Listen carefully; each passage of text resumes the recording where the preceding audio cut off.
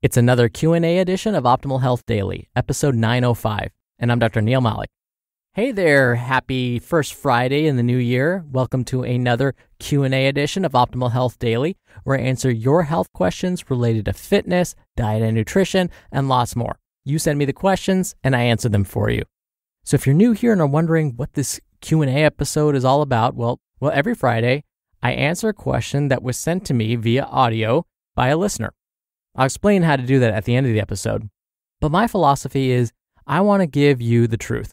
I want to bust through some of these nutrition and fitness and stress management myths and cut to what does the actual research say? Because that's really what's most important. It's not my opinion per se, but what do the data say? What does the research say? According to Napoleon Hill, opinions are the cheapest commodity on earth. Everyone has them. It just doesn't mean that they're correct.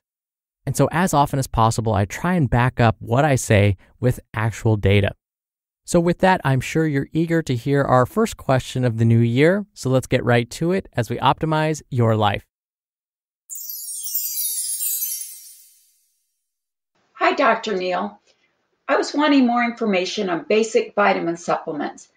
I'm in my 50s, and for many years I've taken multivitamins with calcium I recently went for an annual physical with a new physician, and he said if I'm eating a well balanced diet, research doesn't really support me taking these vitamin supplements. I would love to know your thoughts on this. Thank you for your question, Jean. Think of multivitamins like this they're like having an insurance policy. Taking one every day probably doesn't hurt, but may help under certain conditions. And here's why.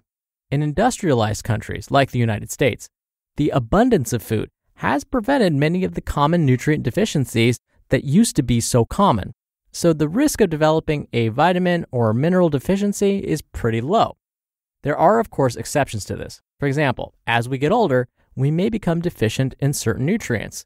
This happens for a lot of reasons, but here's an example. It's quite normal to lose some of our ability to absorb vitamin B12 as we age. Again, very normal. It basically happens to everyone.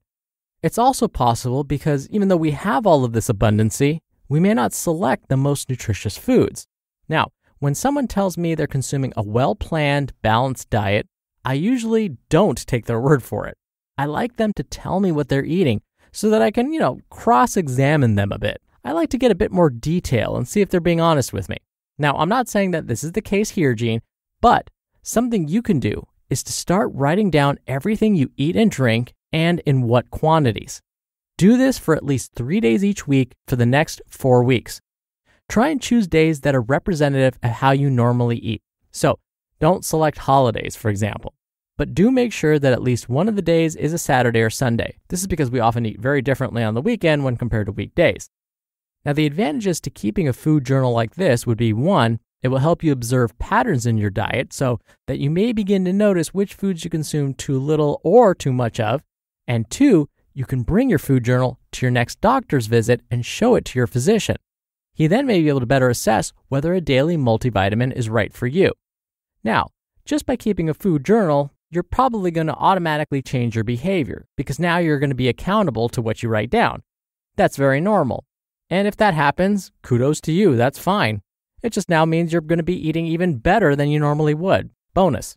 Now, based on the information you mentioned, Jean, I would consider continuing with the calcium supplement at a minimum. This is because women, particularly, are at an increased risk for developing osteoporosis after the age of 45. Osteoporosis is that nasty disease that leads to holes forming in our bones. The word osteo or osteon refers to bone, and porosis or porous refers to something having small spaces or holes in it. I know that there has been some controversy lately about the effectiveness of calcium supplementation and osteoporosis prevention, but the majority of studies do find that there is some benefit, especially if someone isn't getting enough calcium in their diet. I would consider asking your doctor about supplementing with 300 to 500 milligrams of calcium each day. Also, if your doctor hasn't done this already, go ahead and request a blood test that looks at your vitamin D levels. This is because vitamin D, along with calcium, helps to make your bones stronger.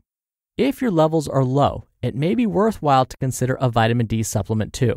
But if your test comes back normal, there may be no need to supplement with vitamin D.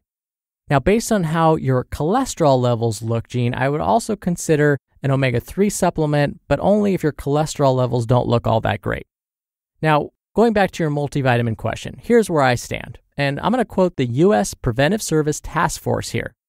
The data suggests that there is little risk of harm when taking a daily multivitamin. Rather, it can be beneficial if nutritional deficiencies exist.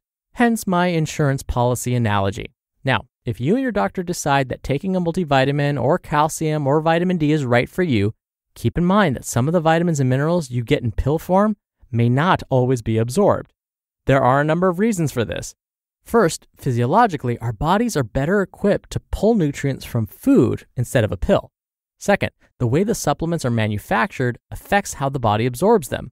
Some vitamins are immediately destroyed when they hit the stomach because of the stomach's strong acid content. Others are better absorbed when you take them with food. For example, calcium is often found in two forms when you buy it as a supplement calcium citrate and calcium carbonate. Calcium carbonate specifically is better absorbed when taken with food.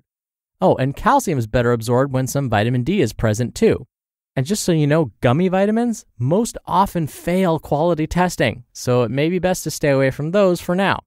So here are some tips when buying a supplement, any supplement. One, ignore any misleading claims. Misleading claims on the packaging of nutrition supplements can still happen. If a supplement promises to be a cure for something, ignore it and definitely don't buy it. And next, do your homework. Check for quality and purity.